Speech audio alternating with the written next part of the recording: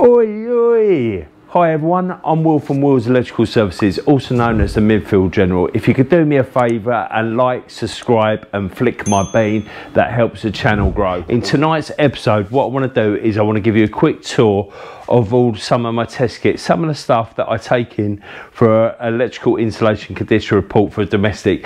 At the moment, we've been doing shed loads of private rental testing and all that, and I just wanted to show you the uh, kit that we're using. Oh, Dragonfly was trying to do me. Wait, wait. Yeah, so what I want to do is I'll bring you in nice and episode. What I wanted to do is I wanted to show you some of the bits and bobs that I've uh, used for my electrical installation condition reports. I've seen a few online at the moment. You've got Mark from uh, Apprentice One to One and also the Bearded Sparks who have done their little tour their kit test kits and I really enjoyed them. So I thought, why not? I'll have a go at it as well. I'll put a link below so you can have a little look at their videos and I highly recommend them. You know, I love a tool. I love tool reviews. So let's go for it. Oi, oi. So what we've got here is that the first one we've got is my Armeg set. I've done a little uh, video of that. That's my torque screwdriver set.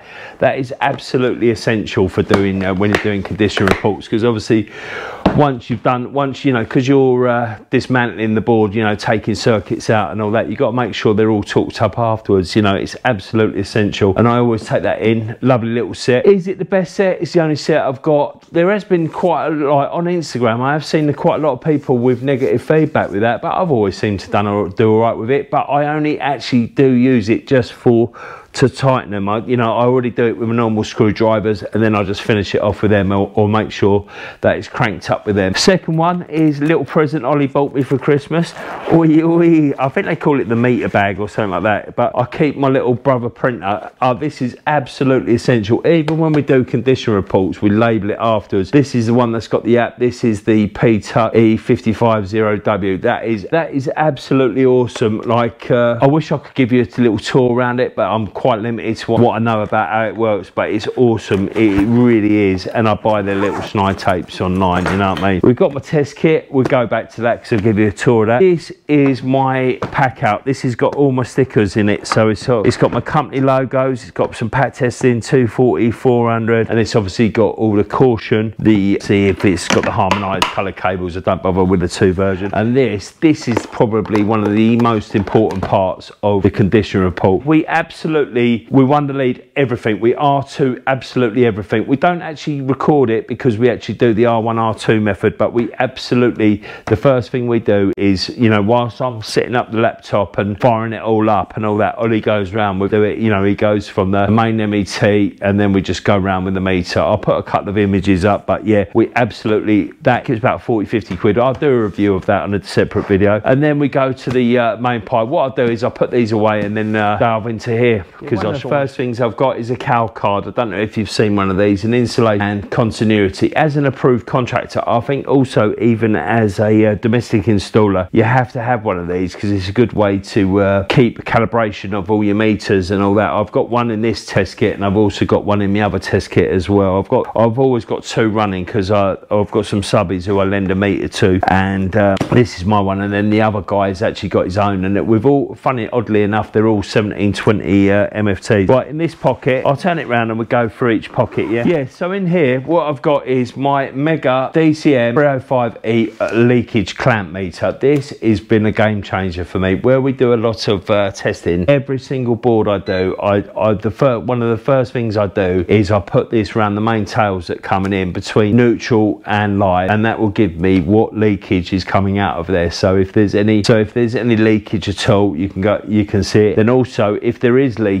you can actually flick through all the breakers. You can find which circuit it is. It just literally disappears once you turn it off. Most of the time it's global. So obviously, you know, I don't feel too comfortable talking about it too much because I'm limited to what I use it for. But I'll attach a video for uh, GSH have done one where they've actually got Megger in there. Watch it. Honestly, you it's a it, that an absolute game changer. I tell you. This was I bought this. I bought this. This absolute brilliant bit of kit. This is. This is the Kewtech. Is the uh, lamp holder adapters It's it's pretty good. I watched uh, the bearded electrician. He done a uh, he done a review of his test kit, and he had a set of these, and I thought, ah, oh, they're a pretty good idea. I'll give them a try because what what I didn't like is that you know when we change light, there's a period of when you do the test to when we actually put the light up. So you know when we're getting all the uh, shitty ones with the bar and all that, you're putting it up. You're testing it before you do that, then you put it on, and that weren't really sitting well with me. So what I what I thought was is if I got a set of these, what I could do is plug it in, use the R2 method, but obviously with a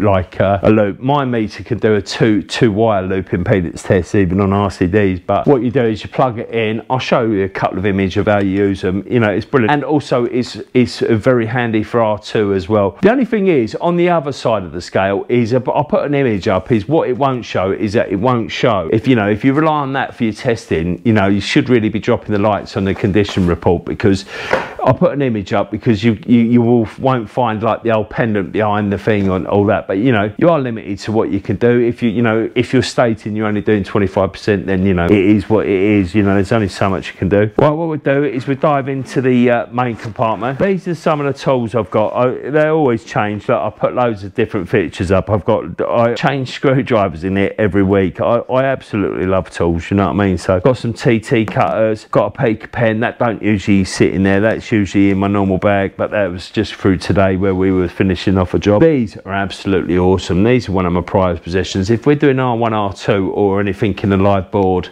we pull them out or, you know, if I'm fault finding and all that even I've also got a Unilite inspection thing, P PS12R. This is the old Bonington inspection thing. It's pretty good. It's come in handy a few times. It, may, it gives you a bit of peace of mind. But what I did notice, I paid about 25 quid for that from uh, Loadout, but you can actually go on Amazon and just buy the dentist ones. And then I've got the Knipex knife. The only reason I've got that in there is because uh, I bought that and for some reason I'm so precious about it. It was only 13 quid, but I never want to use it because it would go blunt. And it's just like, I'll just use it for knocking off uh, paint and switches and that.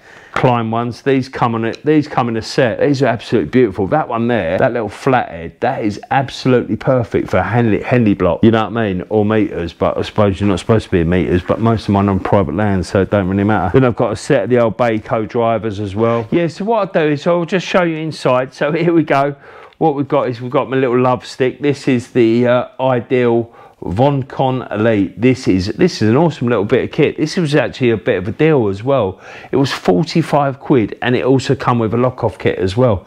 It's a really nice meter that is. So what I'll do is I'll probably review that in the future. I've obviously got my meter, the 1720. I've got a couple of those. It's got a couple it's got a button missing and all that. The other one's got a couple of buttons missing, but it doesn't affect the performance of it or at all. But the old leads, look, we finished quite late tonight, so the actual everything was uh, thrown in here. That's the reason I bought it in here so I can sort it all out. But yeah, on this one I've got the Megger I've got the Megger leads and that when I say the Megger leads, I've actually gone through every brand of leads. I actually usually like the fluke ones. I usually have the fluke the fluke leads in here. Look, I've got a couple of these. The reason being is that sometimes when you use these, these Kewtechs, you have to you have to use it backwards on on the meter, and it don't really sit too well. So what I do is I put these in there, and I also use that for my R1, R2. So I just use the fluke fluke leads. The fluke leads are quite nice, but the only trouble is is that they're not very strong. You know what I mean? Go for them.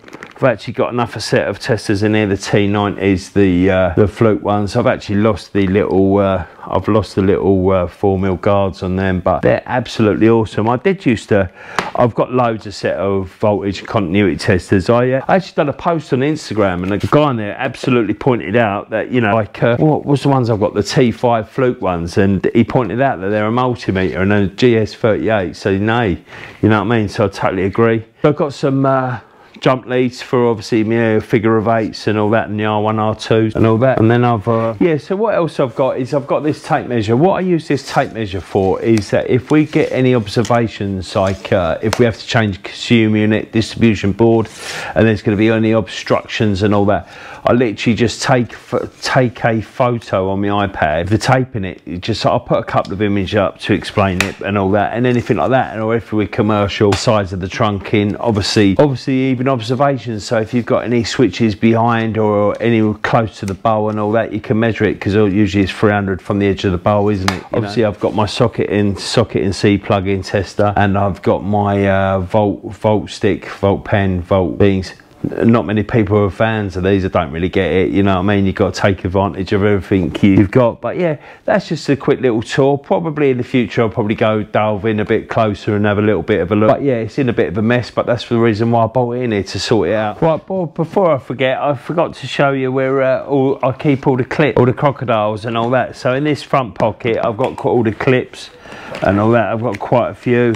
Got a soldering iron thing in there got a few of these. These are awesome these because they, you can test the old uh, Wagos with those those little prongs and also they're pretty good for Wylex RCBOs because obviously they're pretty deep. Got quite a few of these. As I say most of them are still on the leads and all that so and they're all, all in here.